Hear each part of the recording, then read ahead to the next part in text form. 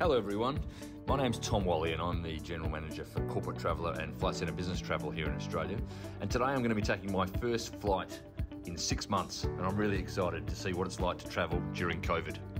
So here I am at Brisbane Airport, about to go on my first flight in nearly six months. And as you can see behind me, there's really no one here. So it's a very easy drop off and a very easy walk to the terminal. But uh, let's get inside, I'm pumped. As you can see here, check in, the departures hall, the retail areas and security are all fairly quiet, so it's pretty simple and quick to get through, with only social distancing in place to make sure everyone stays safe.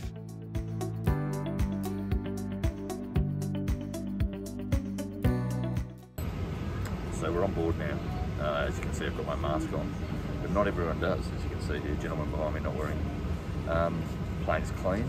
Uh, we got given a little care pack with a mask and a sanitary wipe. Um, but so far, most things are pretty normal, apart from the fact that there's not much retail open in the terminal. So we landed in Adelaide, and actually the flight wasn't as different as we thought it would be. Pretty much most things were normal. The only interesting thing was when we landed, everyone stayed seated and got off row by row, which you've never seen before in any flight I've ever been on.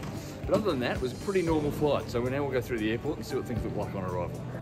Prior to departure, we were asked to complete a border declaration form, which we will now be asked to present uh, along with our driver's license and our purpose for travel upon arrival.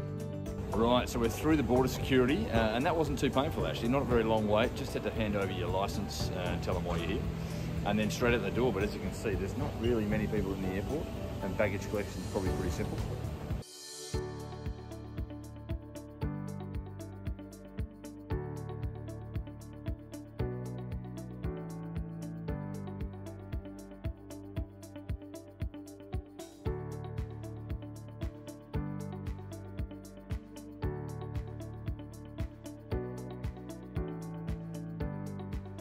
So we're in the Qantas Lounge in uh, Adelaide, and as you can see, it is open, which is great news. But the difference being there's no buffets at all. You sit at the table and you get service like you would in a uh, in a chairman's lounge. So it's actually a bit of an upgrade.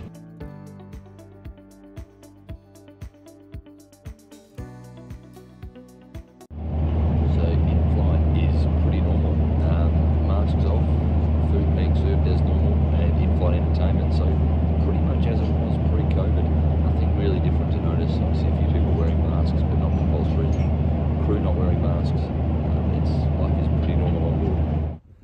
So I'm back home now in Brisbane after my trip to Adelaide uh, during COVID, which I must say was a really good experience.